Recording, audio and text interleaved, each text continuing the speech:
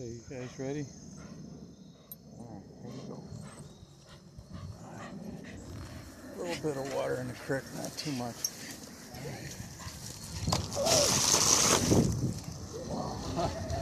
Getting an extra dog to.